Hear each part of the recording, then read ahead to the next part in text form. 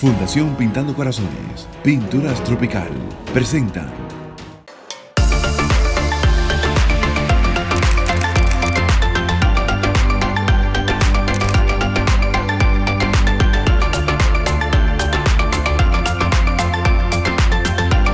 En el programa de hoy conoceremos la historia de una inquieta niña santiaguera que desde temprana edad se inspiró en su hermano y en su amor por la medicina. Nos cuenta su lucha e historia para convertirse en médico bariatra, especialidad con la que ha ayudado a cientos de personas a bajar de peso y a mejorar su calidad de vida. Hoy, con William Sánchez, doctora Cristi Tineo, vamos a conocer más de su historia. Señores, ¿ustedes alguna vez han pensado en hacerse una bariátrica si están gorditos? Miren, yo hoy voy a tener este encuentro, estas, esta conversación, porque no va a ser una entrevista, con una doctora que ella dice que me va a convencer a mí de que por qué una gente debe hacerse una bariátrica. Cristi, Tineo. Hola, William. ¿Cómo estás? ¿Cómo estás? Muy bien, gracias a Dios. Qué bueno, y se te nota. Sí, se me nota, ¿verdad que sí? Sí. Cristi, ¿por qué tú siendo, cuánto tú mides de tamaño? Ay, no me ponga eso en televisión nacional. Yo mido 5. Cinco. Sí. ¿Y cuánto pesas? 107 libras. ¿Y tú no sientes que es, que es un tanto extraño que una persona de tu tamaño, con 107 libras, esté trabajando precisamente con gente que son obesos? Es extraño, pero no imposible, porque lo que importa no es el peso, sino la técnica. Ay, papá. ella, ella trajo su menudo. Mira, es chévere. Tú eres de Mao. Yo soy de Mao, De Mao. maeña, Maeña. Pero tú vives en Santiago. desde los 6 años. ¿Qué te inspiró a ser médico? Bueno, eh, fue una decisión como un poco rápida. Mi hermano comenzó a estudiar medicina. Yo siempre como que he admirado mucho a mi hermano y siempre como que he seguido un poquito sus pasos.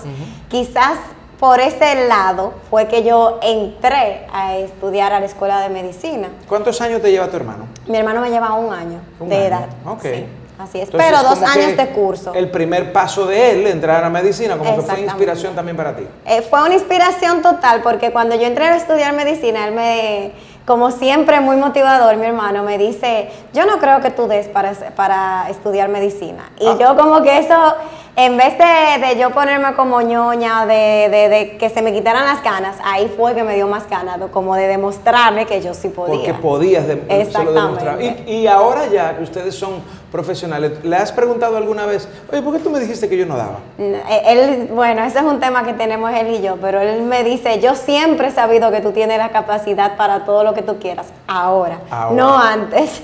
¿Y cómo se llama tu hermano? Cristian Tineo, Él es eh, cirujano. cirujano plástico. Cirujano plástico. Cristian Tineo. Sí. Mira, no lo conozco. No, es en mi nombre, pero en masculino. Exacto, es ¿verdad? ¿Viste? Entonces, esa es tu inspiración. ¿Y dónde estudias? Yo estudié en Pucamaima, medicina, y luego hice la especialidad en cirugía general en el Hospital José María Cabral Ibáez, allá en la ciudad de Santiago. Ok, bueno, pues tú te fuiste a la Pucamaima, o sea, me imagino que tú vienes de una familia que podía honrar esos compromisos. Y la verdad que no. O sea, nosotros, mis hermanos y yo tuvimos la oportunidad de poder estudiar en Pucamaima gracias al crédito educativo, que se lo voy a agradecer a la universidad toda la vida porque me dio la oportunidad de poder formarme como yo quería y sin tener que pagar un peso mientras yo estaba estudiando comencé a pagar después. Entonces, por nuestras buenas notas, que gracias a Dios siempre tuvimos buenas notas, nos graduamos con honores los dos también, eh, pudimos estudiar en la, en la Pontificia Universidad Graduados los dos con honores Así en medicina, pagando, pagando con un crédito educativo. con un crédito educativo. Dios mío. Así es. O sea que eso obligaba a que tuvieran que ser buenos estudiantes obligatoriamente. Obligado. Por ejemplo, yo antes de entrar a la universidad, yo ya sabía inglés porque había estudiado en varios institutos inglés y me había graduado. Eh, y yo decidí tomar la, la materia de inglés porque tenía muchos créditos. Entonces, si yo pasaba inglés en A, o sea, eso me aumentaba el índice muchísimo. Entonces, por esa razón, eh, cogí todo mis inglés y las pasé en A y, o sea, tenía que estudiar. Por ejemplo, una anécdota que, que yo me recuerdo es que cuando yo entré en matemáticas, yo no, nunca me gustó mucho, no era muy buena. El primer examen que yo hice de matemáticas, yo le saqué un 50. Un 50 un 50 de 100. O sea, estamos hablando que yo estaba, yo estaba petrificada porque yo lo que pensaba, wow, me van a quitar el crédito del primer semestre que entro. Entonces, lo que yo hice fue, comencé a, a tomar tutorías con la profesora, que ella daba tutorías, y iba a todas las tutorías, todas las tutorías. Todos los exámenes siguientes de matemáticas yo lo pasé en 100. Y le pude sacar A a la materia. o sea, después te estoy diciendo que yo para nada me gusta la matemática, pero entendía que tenía que mejorar eh, la nota y así pude hacerlo. ¿Y cómo llega a ti el tema de querer ser cirujano? ¿Te diste cuenta de eso desde que estaba estudiando medicina o fue algo que apareció luego de graduada? No, bueno, mira, eh, yo tomé la decisión, tú sabes que cuando uno estudia medicina, el último año de la carrera precisamente es práctico. Tú rotas por todas las áreas en los hospitales. Entonces, eh, roté en el Hospital de Niños, roté en el, en el Hospital José María Cabral Ibáez, en, en Bellavista, en muchos centros. Y por las diferentes áreas, cirugía, medicina interna, cardiología, todo. Yo tenía la idea que lo mío iba a ser algo clínico, como nefrología, porque me gustaban los riñones, o anestesiología. Pero cuando entré al, al internado, cuando entré al área de cirugía, comencé a involucrarme con lo quirúrgico, o sea, comencé a dar puntos que me encantaba. Yo dije, no, lo mío es práctico, o sea, nada que ver con teoría y sentarme a ver un paciente, 40 pacientes en, un día. No, lo mío es práctico. Entonces ahí comenzó mi amor por la cirugía, la verdad. Ok, y entonces, ¿cuántos años dura ya la especialidad de cirugía? Cuatro años. Cuatro años. ¿Qué edad tenías tú cuando te terminaste ya de, de cirugía? Yo me gradué de la universidad a los 22 años, si no mal recuerdo, y luego se hace un año de pasantía son 23. Eh, son 23. Aquí hay que concursar para poder optar por una especialidad. Concursé, gracias a Dios. Pasaste. Pasé el examen porque es a veces se torna un poco difícil. Hay personas que duran hasta 5 o 6 años concursando y no concursan. Yo tuve la suerte de que pude entrar de una vez. Entonces, eh, luego de eso, eh, son cuatro años que tú duras haciendo la especialidad. O sea, que tú tenías, digamos, que 27, 28 años. Cuando, Yo tenía 23, 27, eh, exacto, 28 años me gradué. O sea, que tú no llegaste a ejercer prácticamente como cirujano general, muy poco tiempo. Eh, yo ejercí, yo salí del hospital, ejercí un año la cirugía general en un centro, en una clínica de, Santiago, y eh, yo quería algo más algo más. Sí, porque yo decía, es que yo no puedo ser solamente cirujana general, yo quiero hacer otra cosa más.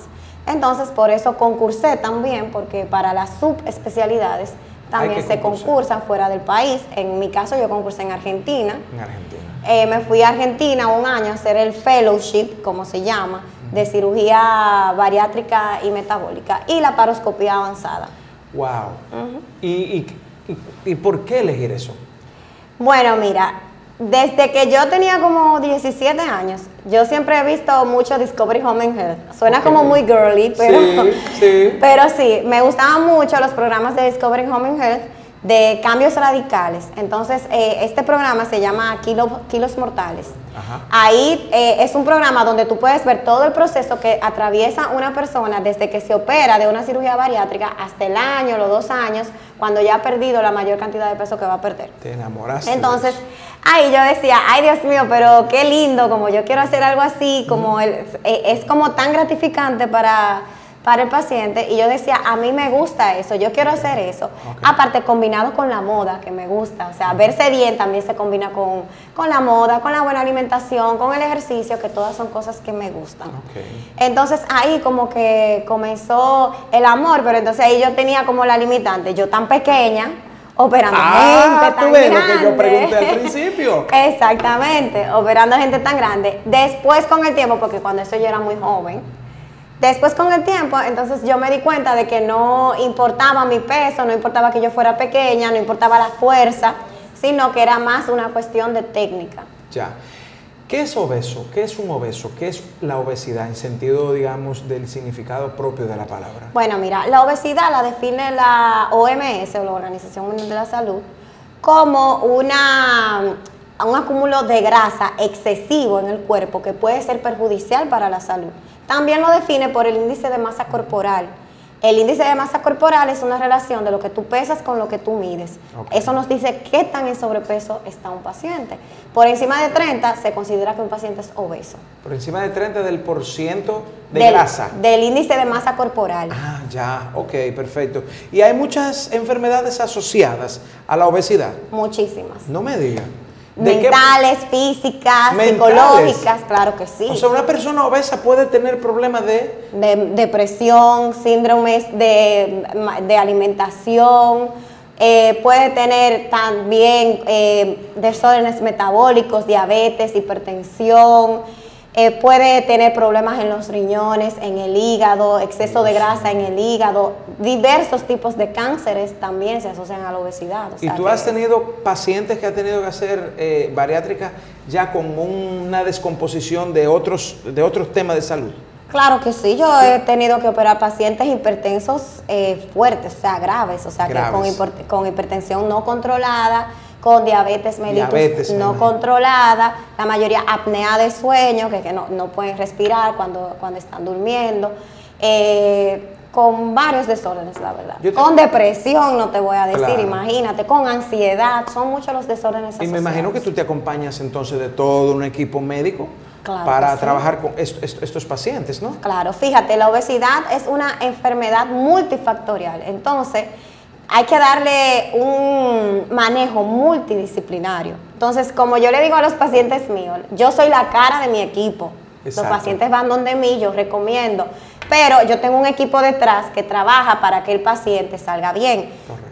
Eh, el paciente va a psicología, a psiquiatría, a nutrición, al gastroenterólogo, hay que hacerle una endoscopía previa para ver el estado del estómago por dentro, porque no solo es operarlo, sino operarlo y que salga bien. O sea, un gastro. Claro, una evaluación cardiovascular que me diga que el paciente puede someterse a una anestesia general, porque lo dormimos el paciente, en quirófano, a una neumóloga, o sea, es un equipo totalmente enfocado en que el paciente tenga los mejores resultados en el postquirúrgico y en el transquirúrgico también. y, digamos que en el, porque yo conozco de casos donde han salido fatal las operaciones, de casos de gente que se casi se ha muerto.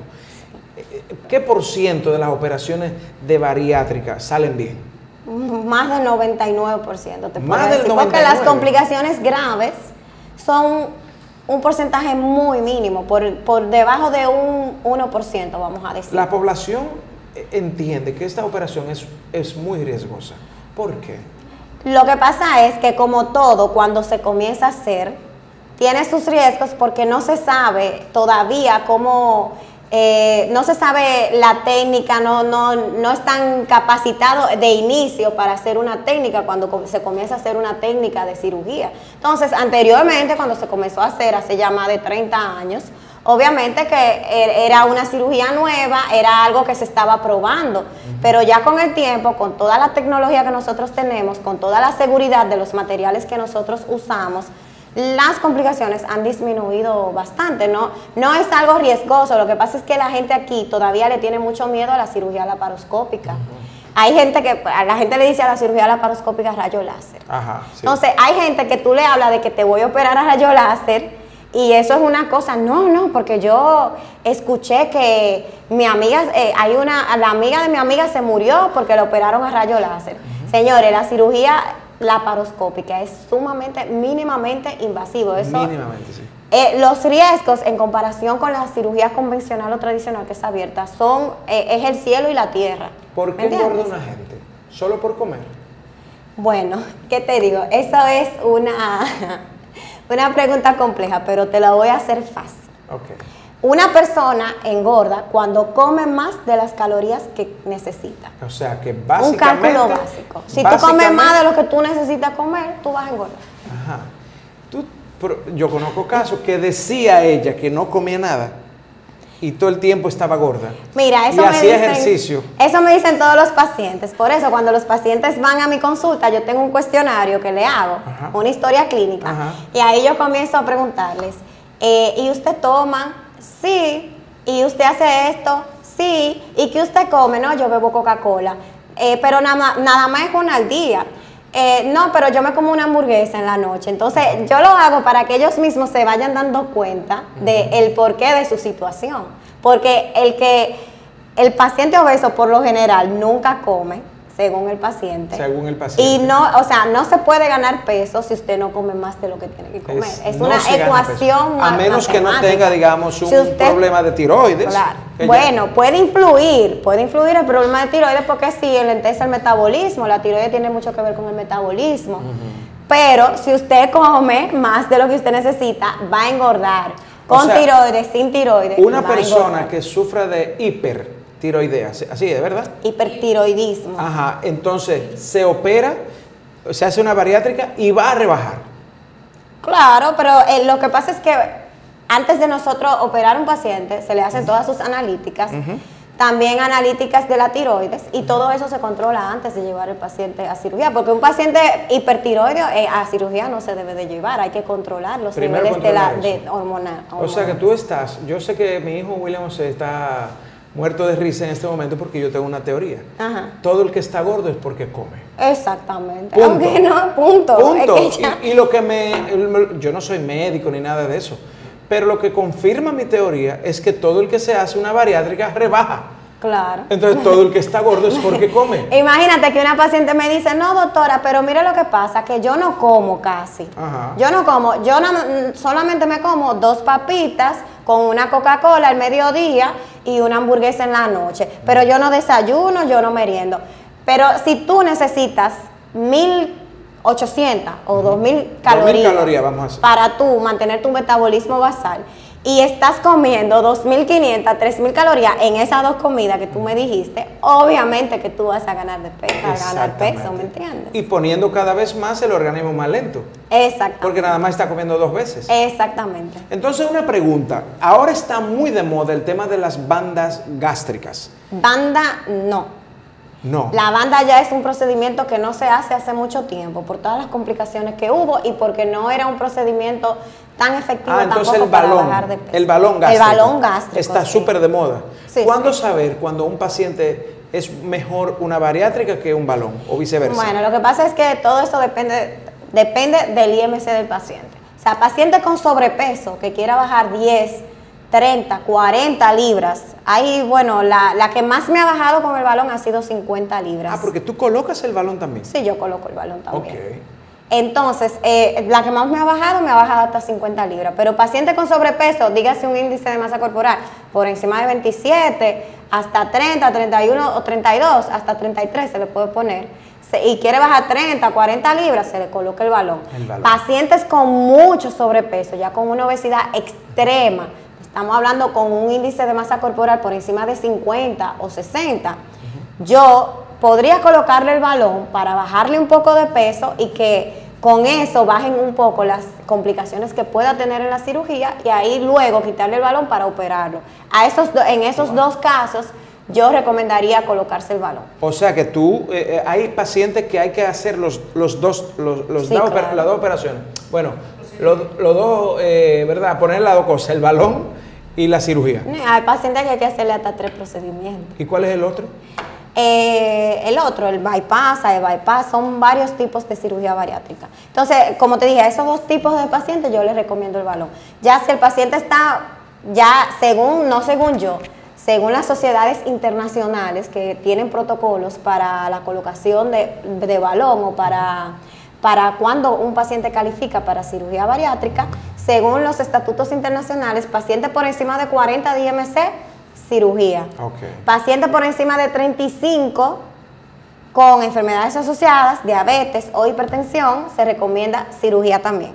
Ahora, pacientes con obesidad grado 1, que es de 30 a 35, anteriormente no se operaban, pero ahora, hace varios años que ya es conocido, lanzado por la eh, statements por la Sociedad de Cirugía Metabólica de Estados Unidos, ya ellos recomiendan la cirugía a partir de obesidad grado 1 porque ellos dicen que es más beneficioso operar en esta etapa a, a esperar que el paciente evolucione a una obesidad mayor. Y sobre todo que cuando ponen el balón gástrico y lo retiran a los seis meses o a un, o a un año, el estómago vuelve y queda del mismo tamaño. O sea que tiene que ver mucho el paciente la conciencia del paciente Claro. para no volver a engo- a engordar. Totalmente, totalmente. Eso es algo que yo trabajo con todos mis pacientes.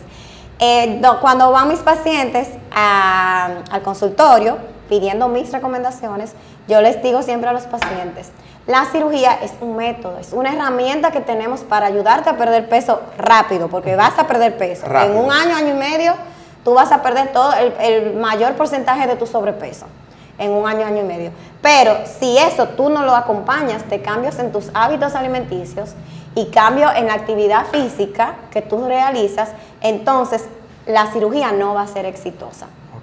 Entonces puedes volver a reganar el peso en 3, 4, 5 años. Y una pregunta que mucha gente yo sé que está viendo el programa se está haciendo. ¿Cuál es la edad ideal para este procedimiento? Bueno, realmente no hay una edad ideal como tal, o sea, hay un rango de edad en el que se puede realizar la cirugía. Desde los 16 a los 60 años es, es lo ideal. Ahora bien, cada caso se considera en particular. Si hay algún paciente por encima de 60 o por debajo de 16, en el cual haya que realizar la cirugía por su caso particular, también uno lo considera. Obviamente que si es por debajo de 16, ya obviamente que es un acompañamiento psicológico importante porque es un adolescente o un niño y obviamente con, con el permiso de, de sus padres y la autorización de sus padres. O sea que sí se puede antes de los 16. Sí, claro, todo depende. Perfecto. Vamos a hacer de cuenta que tenemos un paciente que está viendo la televisión ahora y está lleno de miedo, no ha querido tomar la decisión de hacerse este procedimiento. Comencemos con él. ¿Cuál es el primer paso El primer paso es ir a mi consulta. a tu consulta? Decidir buscar la forma de mejorar su salud. Que tome la decisión el paciente y de ir a mi consulta. Ok. Eso es lo primero. Yo lo consulto, veo si califica y de ahí les recomiendo lo que yo creo. No lo que yo creo, como te digo, yo me baso en lo que dicen las sociedades internacionales. Correcto. Y le digo lo que es su- la mejor opción que él tiene en su caso particular. El tipo dijo que sí en tu consultorio. No, pues está bien, doctora.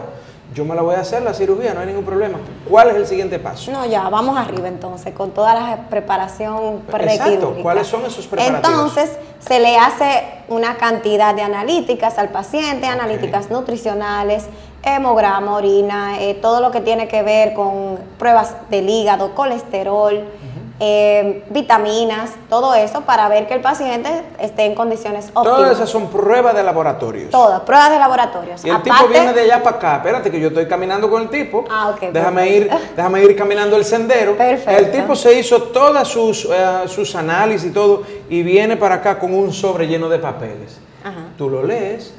No, pero espérate, faltan dos. Ah, faltan dos. Falta pues. una tomografía que le mando a hacer a todos los pacientes de abdomen y de tórax. Ok. Para ver que no haya otra cosa agregada en el abdomen. O sea que vamos bien, señores pacientes. Vamos bien. Sí, Por facilito. Por el segundo paso.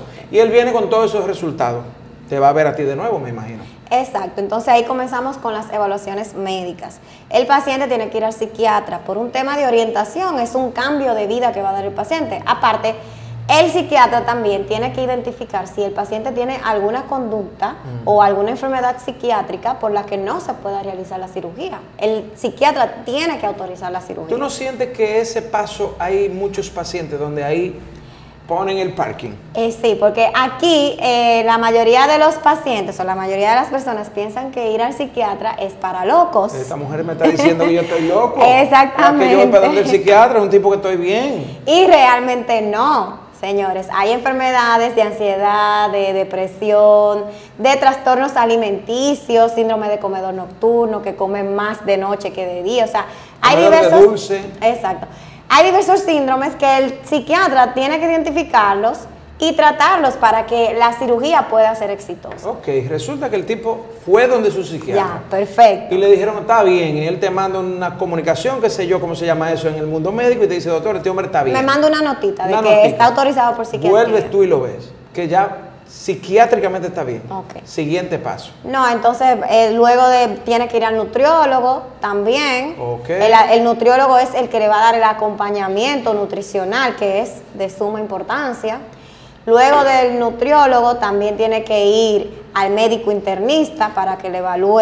Este nutriólogo no es que le va a decir, mire, usted lo que va a comer es lechuga y, y vegetales nada más, no, al No. todo lo contrario. No, el- Usted el- puede comer de todo en sus tiempos, ¿no? Y sus cantidades. No, no es que va a comer de todo, porque eso es un proceso y es por etapa la dieta del paciente. Ajá. O sea, de inicio el paciente va a tener una dieta líquida Ok. de un mes Entonces, el, aproximadamente. el papel del nutriólogo es explicarle cómo va a ir en, en evolución. No, el, el nutriólogo por lo general me autoriza el procedimiento desde el punto de vista nutricional. O sea, el, el- el nutriólogo ve cómo están sus niveles de vitaminas, de colesterol, de todo lo demás. Ok. Y me autoriza el procedimiento. Yo, por lo re- regular, los primeros meses le, trato, le llevo la dieta yo a mis pacientes y después al tercer mes lo devuelvo al nutriólogo para que el nutriólogo comience con ya un- una guía nutricional para el paciente. Ok, ya vio al psiquiatra, vio al, al psicólogo, vio al nutriólogo, ¿y qué más le falta? No, todavía falta mucho. ¿Y qué? Dime cuál otro bueno, médico. mira, eh, también tiene que ir al internista o al cardiólogo, porque hay que ver que, es, que, que pueda someterse a una anestesia general el paciente, que estén sus niveles de presión estén controlados, sus niveles de diabetes estén controlados, que todo esté controlado y, y, por ejemplo, que el corazón esté funcionando bien, que los riñones estén funcionando bien. Entonces, cuando el internista me da el sí, seguimos con el gastroenterólogo. Con el gastro. El gastroenterólogo, su función es hacer una endoscopía para ver que el estómago esté en buenas condiciones por dentro. Ok. Porque, por ejemplo, he tenido pacientes que han tenido úlceras, que he tenido que suspender El la proceso, cirugía sí. para darle tratamiento antes de la cirugía y después operarlo. ¿Por qué? Porque esto me puede traer alguna complicación en el Sí. paciente. Luego se puede abrir lo que yo pegué para que la- las Eso, para que la personas lo puedan sí. entender. Entonces, eh, es muy importante ese paso, la endoscopía. Aparte, por ejemplo, si el paciente tiene un tumor o un pólipo en el estómago, todo eso yo lo tengo que saber antes, antes de yo cortar y para saber dónde voy a cortar también. Pero atento al relajo, vamos, seis médicos ya. Sí. ¿Falta, ¿Faltó alguno? El neumólogo, que yo por lo regular los mando, todo depende. Los mando más ahora por un tema también de COVID. Ok. Pero también el neumólogo tiene la función de ver si el paciente está padeciendo de apnea de sueño, eh, si tiene alguna condición pulmonar, todo eso.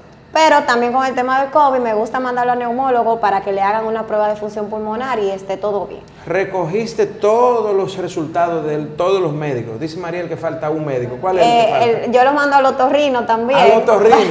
¿Para qué? Sí, lo mando al otorrino para que me le haga una evaluación de las vías aéreas. A veces Ah. hay pacientes, es- estos pacientes se van a someter a una anestesia general, entonces hay que entubarlos. Concha. Hay pacientes que tienen obstrucción eh, de- de- congénita de las vías aéreas, entonces todo eso yo lo tengo que saber antes Óyeme, pero con razón es que salen bien la cirugía. Tú me dices 99%. Bueno, es que tú tienes a mano. que- Y entonces, bueno, el paciente está dispuesto, todo dice que sí. Y entonces el paciente va donde ti el día que tú programas la cirugía. El paciente, luego de que ya está todo bien, por lo regular yo le digo, tú te quieres operar el viernes que viene, una semana yo te preparo. Ok. Sí, obviamente si no son pacientes muy obesos, a los pacientes muy obesos yo los mando a bajar de peso. ¿Lo manda a bajar de peso antes del procedimiento? Claro, porque disminuye muchísimo las complicaciones. Tuve un paciente que operé de 460 libras. Por ahí. Antes de la cirugía, él bajó como 60 libras en un mes y medio con nuestra nutrióloga, la doctora Rafaelina Reyes, que es espectacular. Bajó aproximadamente 60 libras. Wow. Y eh, obviamente que eso mejoró, mejoró bastante todas las complicaciones que él pudiera tener en el transquirúrgico. Ya. ¿Qué tiempo dura el proceso de, de la cirugía? Entonces, el paciente por lo regular se ingresa el mismo día de la cirugía. Eh, es un proceso, obviamente yo le digo, no se me desesperen porque comienzan a desesperarse, a veces hay varios, y yo quiero ser el primero, no, es por orden que se anotan. Entonces, eh, la cirugía dura aproximadamente 40 minutos, una hora, rápido. una hora y 20. Sí, es una Rápido, cirugía fácil, rápida. Nosotros ¿Ambulatoria usamos... casi? En algunos países se hace ambulatoria, se está implementando hacerse ambulatoria en pacientes no complicados. Pero todavía aquí no, no hemos todavía llegado a esta tecnología, prontamente. Doctor, y una pregunta que tiene eh, mucha, mucha gente, por ejemplo, gente de Estados Unidos, que quisieran venir a la República Dominicana a hacerse el procedimiento. Claro. Y dicen, cóchale, pero no puedo, porque entonces eh, yo trabajo aquí y yo no puedo irme a operar allá y pasarme un mes. ¿Qué tiempo después puede volver un, un paciente? ¿Qué tiempo tiene que durar aquí para, para poder sí, hacer el proceso? tema del vuelo también. Sí, yo tengo muchos pacientes que vienen de Estados Unidos. Hay una, por ejemplo, que vino de España, que la voy a operar mañana. Ok. Vino de España. Y sí, yo le digo que por lo menos aquí, después de la cirugía, por lo menos que me duren de 10 a 15 días después de la cirugía. Y antes de la cirugía, por lo menos 5 días para completarle todo el proceso prequirúrgico. O sea, que tiene que tomarse 20 días aproximadamente. Sí, es tu 5 ideal. antes y 15 días después. Sí, mira lo que pasa, que muchas personas no entienden que se están, pro- eh, se están sometiendo a un procedimiento de cirugía mayor, o sea, no es algo que es un relajo. Mucha gente quiere venir, operarse, irse a los dos días, señores. Y si usted presenta alguna complicación en los, primer, en los primeros siete días, que son los primeros siete días más críticos, lo ideal es que usted esté aquí para cualquier cosa nosotros poder resolver. Doctora, Entonces- doctora, dígame una cosa, y cuando esta gente que come muchísimo, simplemente una cirugía y a los dos o tres días, ¿cómo se hace esa gente entonces con el tema alimenticio? No, claro, porque que, eh, para eso es que lo operamos. El Sí. paciente, mira, la manga, por ejemplo, Pero que tienen manía de levantarse de madrugada a comer, de ver la comida y ver un plato de ese tamaño y de buena primera a reducir a una porción así. Bueno, hay pacientes y hay pacientes, porque te voy a decir, hay uno que me comió un en frozen en la primera semana de la cirugía que lo quería matar, pero ¿qué te voy a decir? Pero por lo regular, la manga, que es el procedimiento que más realizamos, porque ahora mismo es un procedimiento simple con el cual nosotros podemos obtener los mismos resultados prácticamente que con otras cirugías más complejas. Entonces, en la manga lo que se hace es que se corta alrededor del 80% del estómago. Con esto, el paciente, como tiene un estómago más pequeño, va a comer menos. Pero aparte, hay una, en el estómago que sacamos se produce una hormona que se llama grelina, la hormona del hambre. Ajá. Esta hormona grelina va al cerebro todo el tiempo y le dice cerebro, quiero comer, quiero comer. Exacto. Y le genera ansiedad. Exacto, esa es mi pregunta. Entonces, como sacamos la mayor parte de estómago que produce esa hormona, el paciente no va a tener hambre por lo menos los primeros años.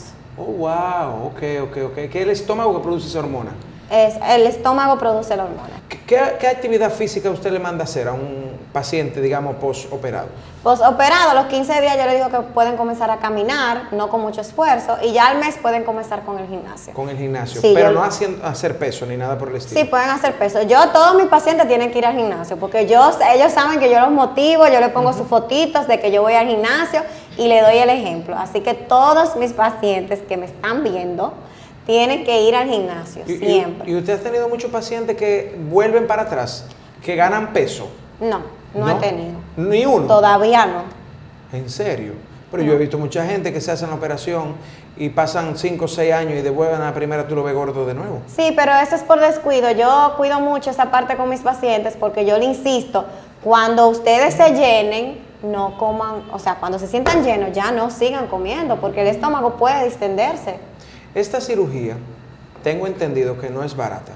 ¿Qué podemos hacer entonces con estas personas que no tienen la capacidad económica y que de verdad necesitan esto, no, ni siquiera por estética, sino, sino lo por necesitan salud. por salud? Sí, claro. ¿Qué, qué- qué- qué- qué- qué hace el Estado? ¿Qué hacen ustedes los médicos en esos casos? Bueno, eh, ¿qué yo te puedo decir? Mira, en otros países, como por ejemplo donde yo me formé, y en Argentina y en Estados Unidos, las aseguradoras médicas, las ARS, cubren el procedimiento. No me digan. Claro que sí, cl- claro, con determinadas, no a todos los pacientes, pero ya a pacientes por encima de 40 de IMC le cubre la cirugía y más también con, enferme- más con enfermedades asociadas. Aquí lamentablemente no contamos con eso, tampoco contamos con recursos en el hospital público. Eh, yo hace, por ejemplo, un mes y medio, dos meses que hicimos una jornada en donde bajamos el precio de la cirugía a un precio más accesible para pacientes, pero de igual manera hay pacientes que fueron a mi consultorio, porque consulté, te puedo decir, consulté más de 100 pacientes para la jornada, wow. de, to- de los 800 que me hablaron, Wow. consulté más de 100 pacientes, y me decían llorando, doctora, es que yo no puedo, eh, es que, o sea, es que ni la quinta parte Puedo lo, pagarlo. lo puedo pagar, para no decir un... un- Wow, pero me imagino que para ti ya como, como humana, Sí, es- es, muy cuesta arriba, la verdad. Yo quisiera poder ayudar más, pero es lo que, lo que te puedo decir. Yo no, no cuento tampoco con los recursos para poder ayudar a tantos pacientes que realmente necesitan la cirugía. Yo quizás pudiera ayudar con mi trabajo, pudiera donarlo mi trabajo, pero ya los materiales son costosos, los materiales, los gastos clínicos, los equipos que nosotros utilizamos son costosos, por eso es que la cirugía es costosa. Así se expresan los pacientes de la doctora Cristi Tineo. Mi nombre es Angelo Payán soy paciente de la doctora Cristi Tineo. Tengo un año de operado. Tenía 446 libras. Ahora solamente peso actualmente 215 libras. Mm, mi experiencia con la doctora ha sido súper buena. Es una persona súper atenta con su paciente. Vive monitoreando día tras día todos sus pacientes que, su cambio vaya bien. Mi vida ha cambiado a un 100% para bien. Ya no ronco, duermo bien. En fin, mi vida cambió a un 100%. Invito a todas las personas que están viendo este programa a que se atrevan a dar un cambio en su vida. Hablemos un poquito de ti. Ok. ¿Cuántos años tú tienes? 33, ay, pero no me a decir eso en televisión. Pero eso es hermoso. Tú puedes decir que tiene 25. Y es verdad. Sí. Ah, pero eso, es un piropo. Pero que totalmente. ¿Y tú eres casada? No. No, no eres casada. No. Ni tiene hijos. No. Ni tiene novio. No. ¿No? No. Ah, pues los no están de moda aquí. ¿eh? ¿Cómo es el hombre ideal de la doctora Cristi Tineo? Que me quiere y que me respete. Más nada. Más nada. Yo no tengo predilección porque sea bonito o porque tenga esto o porque tenga lo otro. Claro que obviamente un hombre tiene que estar a mi altura. Obviamente no quizás intelectual o profesional, pero tiene que tratarme como una reina. Muy bien, porque eso es lo que tú sientes Exactamente. ¿Cómo es un día normal tuyo? ¿A qué hora comienza? Eh, mi día normal, por lo regular, antes empezaba a las 5 de la mañana, ya yo lo estoy tomando un poquito más suave con el gimnasio, pero por lo regular yo me levanto a las 6 de la mañana, escucho la dosis diaria de William Arana, de William Arana eh, y luego me voy, al me voy al gimnasio, hago mi actividad física con mi entrenador, que se lo sugiero a todos los pacientes que entrenen con alguien, porque de verdad que ayuda. Antes yo no lo hacía. Luego de eso, eh, a veces tengo cirugía temprano, a veces no. A veces tengo consulta. Las consultas mías son en la mañana, a partir de las 10 de la mañana. Los viernes, por lo regular, operamos las cirugías bariátricas. Y por lo regular, a veces en la tarde tengo cirugía porque yo también hago cirugía general. Yo ah, opero vesícula, hernias, apendicitis, todo lo que es de cirugía general. Todo eso lo tiene en la tarde. Sí. Ahora voy al hospital los lunes en la tarde y los martes en la tarde a operar. ¿Y tú siempre has sido así delgadita? Sí, en un tiempo estuve como con 5 libras más. Gordísima. Exacto, porque ustedes no lo ven, pero realmente eh, yo soy de contexto, yo soy pequeña, todo se me ve, todas las libras se me ven. Ya, y si tú volvieras a nacer, ¿te gustaría ser médico de nuevo?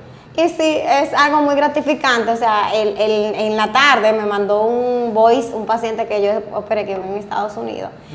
Y me decía, doctor, es que usted no sabe cómo a mí me cambió la vida después de esta cirugía. Entonces, eso para mí es más gratificante que todo el dinero que uno se pueda ganar en esto, la verdad. Es, es muy bonito, la verdad, poder ayudar a las personas. Y no solamente él, todos mis pacientes, yo no sé, pero mis pacientes son demasiado especiales. o sea, me traen regalos y yo realmente valoro. A veces eh, en el hospital me, me ha pasado que hay, hay una paciente que me llevó un día un chocolate embajador. Ay, qué lindo. Y así como yo recibo ese chocolate embajador de una paciente del hospital, con ese amor, con el mismo amor recibo eh, un Dolce en Gabbana que me regalaron los otros días, un perfume, una paciente, la paciente de España que vino. Entonces es algo muy gratificante porque la gente de verdad que tú, eh, tú de verdad sientes que hiciste algo por ellos y te lo agradecen y te lo muestran. Así se expresan los pacientes de la doctora Cristi Tineo. Hola, mi nombre es Isabel Molina, tengo 31 años de edad, soy operado de, por una, de una manga gástrica por la doctora Cristi Tineo. Yo tenía 308 libras, en cuatro meses ya, al día de hoy, he perdido alrededor de 90 libras y me siento muy bien por haber tomado esa decisión y por haber tomado esa decisión de manos de una de las mejores doctoras, no tanto por su profesionalidad como, como médico, sino también porque ella se involucra en el día a día los pacientes, se mantiene en comunicación con nosotros y eso hace que, este, que esta transformación, que este cambio de vida sea mejor para cada uno de nosotros, porque sentimos que ella se involucra con todos nosotros y eso nos, nos hace sentir que ella también es parte de ese cambio. Así que yo me siento muy agradecido y me siento muy bien por este cambio de vida y porque la doctora Cristi Tineo ha sido parte de él. ¿Qué elige una mujer que no tiene hijo, que no es casada, que no tiene novio? ¿Playa o montaña? Playa o montaña, playa. Playa. Pero también me gusta la montaña. Sí, sí, yo sí. soy, yo me siento bien en realmente. en ¿Y, es verdad que el Dolce Gabbana es el perfume favorito tuyo? No, no es mi perfume, ahora es mi perfume favorito, porque como no lo conocía antes, ella me lo trajo y desde que me lo puse fue como amor a primera vista. Estoy dando tips para los... El light blue me trajo ella, o sea, Estoy da- amor a primera dan- vista. Estamos dando tips, porque tú eres una mujer soltera. Me encantó. El light blue Sí, de Dolce bueno, Gabbana. sí. Entonces, ¿cuál es tu color favorito? Eso depende. ¿De qué depende? Depende de si es para vestir, si es para mi casa. A mí me gusta mucho el verde esmeralda, por eso mi logo es verde, Verde, esmeralda. Pero me gustan los colores como neutros. Yo no soy muy de casa. muy colorida. ah, pero tú estás feliz aquí con estos grises y esta... Sí, sí, yo soy como un poquito calmada con los colores. Ya, muy bien, perfecto. Mira, te agradezco muchísimo de verdad eh, que hayas aceptado esta invitación. Yo siento que con lo que hemos hablado aquí podemos ayudar a muchísima gente, porque así como hay muchos que no pueden pagar una cirugía, hay mucha gente que puede pagarla 10 veces y que simplemente no, no sienten la confianza, no se sienten en el ánimo, Claro. no se sienten confiados. Hay mucha desinformación, Mucha desinformación. con respecto a este tema. Te lo digo porque tengo amigos que son, que, que son obesos y hemos hablado del tema. Y hay mucha desinformación, la gente cree que todo el que se la hace, sobre todo, por ejemplo, en los pueblos, cuando hay una persona que se hace una cirugía y ha salido mal, ya eso crea total, una total desconfianza para la gente del pueblo. Tú sabes que todo el mundo se conoce. Entonces, creo que el simple hecho de que hayamos hecho- a- hagamos este programa y que podamos explicar así abiertamente cada uno de los pasos, con eso ya estamos ayudando a mucha gente. Claro que sí, totalmente. Hay mucha desinformación, hay mucha gente que tiene miedo, realmente. Hay mucha gente que escucha otras personas hablando de cosas que no, Que no saben. saben. Entonces sí, es importante este tipo de plataforma para poder ayudar a los pacientes. Yo soy muy accesible en el sentido de que si un paciente me dice, doctor, es que yo no puedo pagar ni la consulta, yo no tengo problema, o sea, yo le digo, ve, asiste, vamos a darte una orientación, por lo menos, para que tú entiendas el proceso y para que luego veas qué puedes hacer, porque si no te puedo ayudar con la cirugía, entonces vamos a implementar otra cosa con la que te podamos ¿En qué ayudar. centro de salud tú operas? Yo estoy en el Instituto Materno Infantil. Perfecto, excelente. También aquí debajo eh, están viendo las redes sociales de la doctora Cristi Tineo, así que también ustedes pueden seguirla, ella es muy activa, así que ustedes les pueden escribir por Instagram, por Facebook y de seguro que van a tener una respuesta inmediata. Así que a ti te doy muchísimas gracias porque estamos colaborando con mucha gente que está viendo el programa en este momento. Y yo sé que tal vez no haya muchos obesos viéndolo, pero sí pueden haber muchos amigos de obesos y que Claro podamos sí, ayudar. Totalmente. Está bien. Entonces, muchísimas gracias, William, A, ti, a tus mucho órdenes. gusto, de verdad. Y a ustedes también muchísimas gracias por quedarse con nosotros en este programazo que yo siento que es un programa súper educativo en un tema que es tan importante en la salud de las personas. Muchas gracias por quedarse con nosotros en este programazo hoy con William Sánchez.